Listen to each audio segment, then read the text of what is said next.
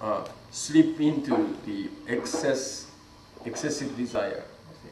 So this excessive desire, even we fulfill it, uh, to have this excessive desire and also to fulfill this excessive desire, both uh. Right. So it's a kind of, yeah, he said, addictive you know, state. So how to recover from this addictive uh, state is, I think, practice. So somehow the zazen is like a, an anecdote, anecdote. Uh, anti, antidote. Antidote. antidote. What comes after? Oh. Antidote. Oh, Antidote for addictive medicine. Yeah, medicine, medicine. Yeah, yeah. So. That's why we we have a reaction against it. You know, lots of complaints uh, for against zazen. You know, psychological complaint and physical complaint, and, and so on. So it, it's from the beginning. Uh, uh, we have to be ready for those complaints, and because uh, we try to, you know, if you are uh, uh, alcoholic alcoholic, you know, stop drinking, if you feel pain or, you know, not hallucination. I never experienced, but something like that. Those reactions happen. Kind of cleansing process. It's very painful.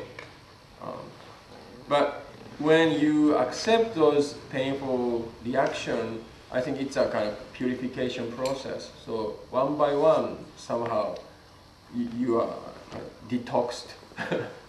Detoxification is happening.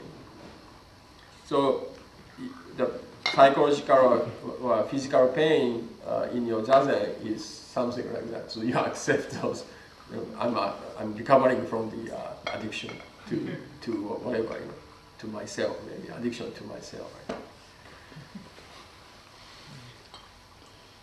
Mm, to, what else? Any other comment? I have a comment. Yeah. So, I think happiness is something a bit tricky because mm. I can understand um, don't cling to happiness. Mm. It's like, um, you know, that's not a good way to achieve happiness or be happiness. But sometimes it just seems like a Zen sentence, you know, mm. don't try to achieve happiness and you'll be hmm. happy. But hmm. I don't understand what's the true way or healthy way of wanting to be happy.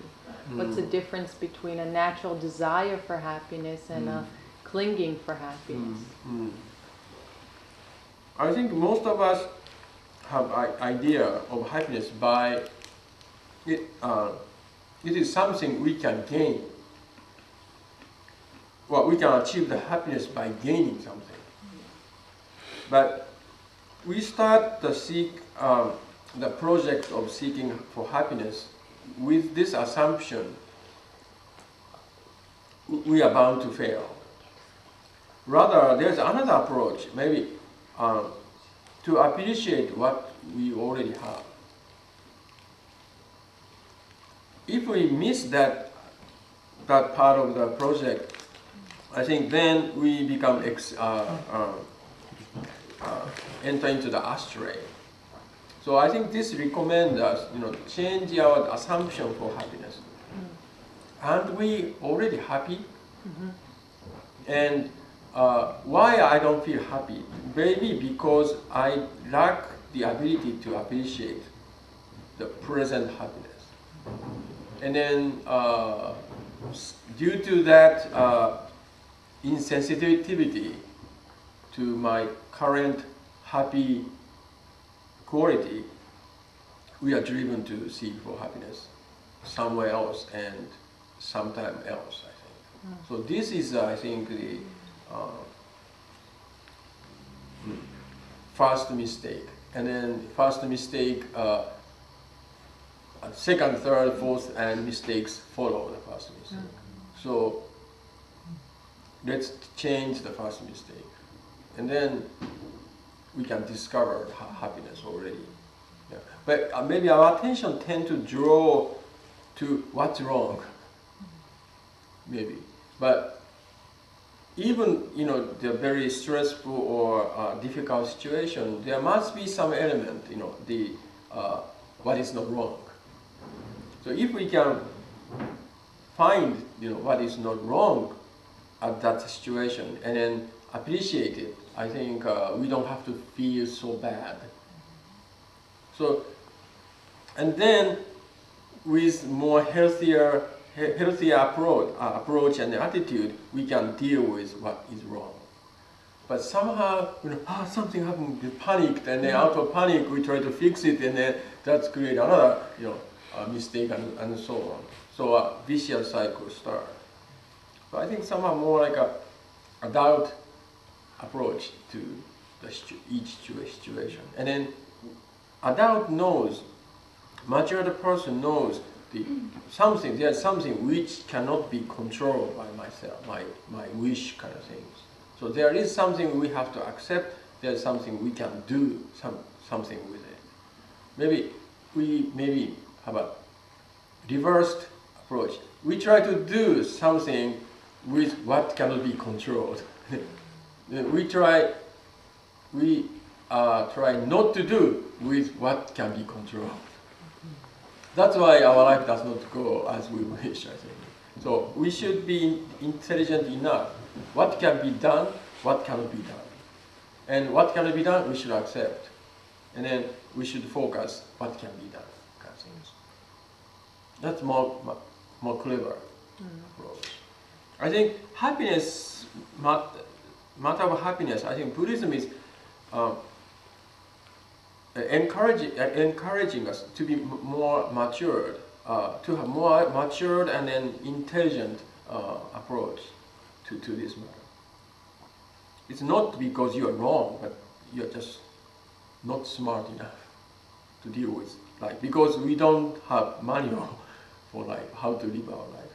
So we have to uh, discover, you know, the mechanism of this machine. It's a huge machine, and where is the button to turn off, turn on, how to adjust those things? We have to find those things. Unfortunately, we don't have manual. We bought the very uh, fancy computer, but there's no manual. I don't know if it's a part of your question, but I can't I can't read things like this anymore. I I find that it you know it's just all form, it's just all words. It doesn't Yeah. actually teach you how to do things like Mm. happiness, and there is no manual for happiness. Mm. I think in uh, Western society it's like more positive attitude. Po- Positive attitude. positive. Like uh, think positive, be positive. and Buddhism is like uh, Negative. Yes. So yeah, people think it is like everything is sorrow. Birth is a sorrow, death is a sorrow, and then this is a sorrow. But I think Is that Indian mentality? no, it's not an Indian Oh, mentality. yeah. the thing is like uh, both of the things are misunderstood. Being positive is you're not seeing the truth as it is. You are trying to think in what you want to see. Mm. For example, something happened wrong. You think positive, it will Mm. go away because you want it to go away. And Bu- Buddhism also like uh, many things have been said like it's uh, everything is sorrow, everything is negative. Mm. But actually, one point maybe missed out is Buddhism doesn't tell you to think that everything is sorrow, everything is negative. What it tries to tell you is see the truth as it is. Mm. Means, for example, you lost some money. So neither it is wrong, neither it is good. Mm. There is no need to think positive like it will come back. Mm. Neither there is no need to think like everything is going to go away. Mm. Thing is, it has gone and it, that is the truth of that time. Mm. Mm. That is just the truth. Then you have to find like what is the reason for it. So just like a scientist, when he do the Yeah, experiment, he doesn't uh, do the experiment with the intention that the result should be like this only. Mm. He just do experiment and see, oh, this is the Mm. result. Mm. Then he Yeah, come out think with a new finding. yeah, yeah. That's I say much more mature, you know, not em- emotionally, you know, involved or uh, you, we tend to take it uh, personally. Personally. Yeah, because someone, you know, cursed me or to yeah, yeah, yeah, yeah, react yeah. because we take it personally. This universe is against me or something. like. We tend to think that way in order to maybe accept what happened. Right? Yeah. I think the